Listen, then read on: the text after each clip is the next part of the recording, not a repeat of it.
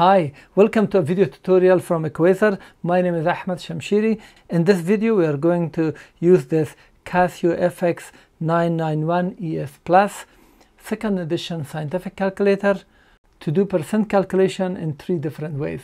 Let's get started with this. When we do percent calculation, usually like this, what is 30% of 5000? Let me do that. So 1000 we enter 5000 first.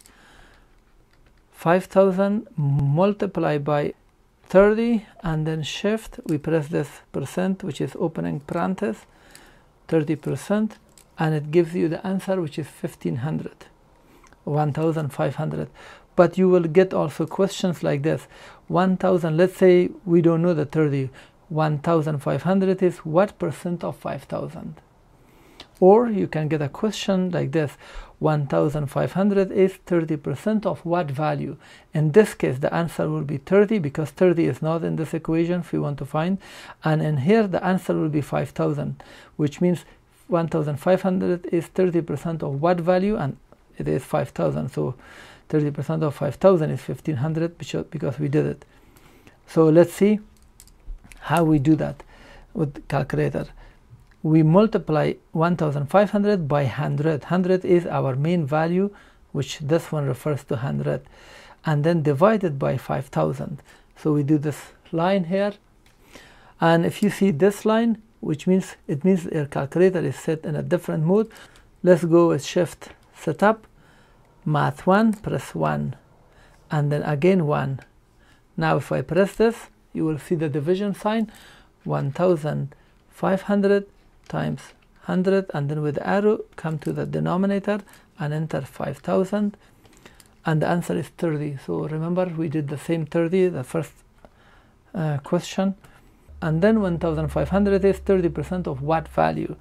In that case again 1500 times 100 to make it simple other than this for these two always 1500 is multiplied by 100 so so 1500 times 100 divided by 30 because this 30 that we have would be here in the denominator and the answer is 5000 and here if you want to add tax to certain value or increase uh, uh, for example 30% to 1500 or 1500 euro here is how you do it. We type 1500 plus 1500 times 30 shift percent. So this gets the 30 percent of 1500 and adds it to 1500 and it is 1950 and if you want to do discounting or subtract 30 percent from some value we will change the this plus to minus. Let's go back press delete and minus and it is 1050 to access all my other videos related for this calculator please check the link below the video in the description Thank you for watching. This was how to use this Casio FX 991 ES Plus second edition scientific calculator. If you learned something and found this useful, please thumb up as this will help my video in the search algorithm of YouTube. If you have comment or question, please post it at the comment section below. I try to answer and reply. And don't forget to subscribe so you get updates of my upcoming videos.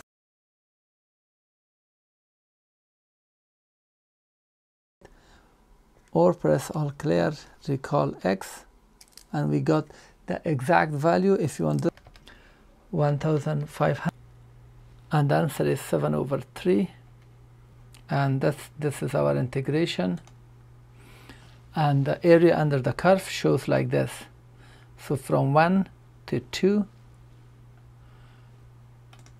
and as you can see the answer is 2.333 4 equal 5 equal